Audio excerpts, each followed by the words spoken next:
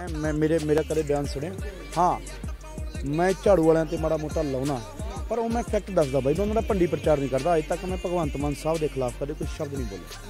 ਮੈਂ ਮਾੜਾ ਨਹੀਂ ਕਹਿੰਦਾ ਕਿਸੇ ਨੂੰ। ਮੈਂ ਇਹ ਨਹੀਂ ਕਹਿੰਦਾ ਕਿ ਕੋਈ ਮਾੜਾ ਯਾਰ, ਇਹ ਗੰਦੀ ਰਾਜਨੀਤੀ, ਭੱਦੀ ਰਾਜਨੀਤੀ, ਅਜੇ ਤੱਕ ਲੋਕ ਉਹਨਾਂ ਨੂੰ ਕਹੀ ਜਾਂਦੇ ਵੀ ਸ਼ਰਾਬ ਪੀਂਦੇ, ਮੇਰੇ ਕਦੇ ਵੀ ਮੈਂ ਉਹਨਾਂ ਨੇ ਕਦੇ ਕਿਸੇ ਦਾ ਮੈਂ ਕ੍ਰਿਕਟਰ ਅਸੈਸੀਨੇਸ਼ਨ ਕਰਨਾ ਹੀ ਨਹੀਂ ਚਾਹੁੰਦਾ। ਕਿਉਂਕਿ ਮੈਥੋਂ ਵੱਡੇ ਆ ਸਾਰੇ। ਪਰ ਮੈਂ ਲੋਕਾਂ ਨੂੰ ਦੱਸਣਾ ਚਾਹੁੰਦਾ ਵੀ ਭਾਈ ਦਿੱਲੀ 'ਚ ਆ ਹੋ ਰਿਹਾ ਪਰ ਸ਼ਰਾਬ ਪੀਣ ਵਾਲਾ ਕੀ ਮੁੱਖ ਮੰਤਰੀ ਬਣ ਸਕਦਾ ਆ?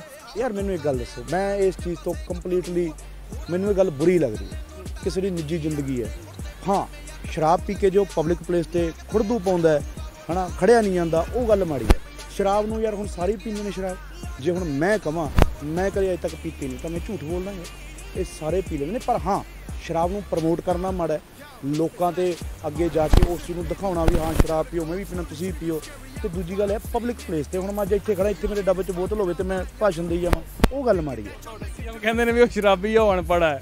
ਪਤਾ ਕੀ ਗੱਲ ਹੈ ਮੈਂ ਤੁਹਾਨੂੰ ਪਹਿਲਾਂ ਹੀ ਕਹਿਣਾ ਵੀ ਭਗਵੰਤ ਮਾਨ ਆਮ ਆਦਮੀ ਪਾਰਟੀ ਦਾ ਹੋਊਗਾ ਠੀਕ ਹੈ? ਮੇਰੀ ਵਿਰੋਧੀ ਪਾਰਟੀ ਦਾ ਹੋ ਸਕਦਾ ਪਰ ਮੈਂ ਕਿਸੇ ਦੀ ਕਰੈਕਟਰ ਅਸੈਸੀਨੇਸ਼ਨ ਨਾ ਕਦੇ ਕਰਨਾ ਤੇ ਮੈਂ ਸਾਰਿਆਂ ਦਾ ਸਤਿਕਾਰ ਕਰਦਾ ਭਾਵੇਂ ਉਹ ਕੋਈ ਵੀ।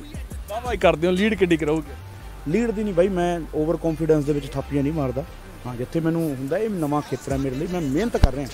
ਮੇਰਾ ਕੰਮ ਹੈ ਮਿਹਨਤ ਕਰਨਾ। ਜਿੱਦਣ ਜਿੱਤ ਗਿਆ ਉਦੋਂ ਮੈਂ ਥਾਪੀ ਮਾਰ ਕੇ ਦੱਸੂ ਭਈ ਹਾਂ ਜਿੱਤ ਗਿਆ। ਉਦੋਂ ਭਾਈ ਓਬਵੀਅਸ ਗੱਲ ਹੈ ਮਾਣ ਹੈ। ਵੀ ਮੇਰੇ ਇਲਾਕੇ ਦੇ ਨੇ ਜੇ ਮੈਨੂੰ ਜਿਤਾਇਆ ਤਾਂ ਮੈਂ ਮਾਰੂੰਗਾ। ਪਰ ਮੈਂ ਓਵਰ ਕੌਨਫੀਡੈਂਸ ਚ ਆ ਕੇ ਮੈਂ ਐਵੇਂ ਗੱਲਾਂ ਜਿਹੀਆਂ ਮਾਰੀ ਜਾਵਾਂ ਉਹ ਮਾੜੀ ਗੱਲ।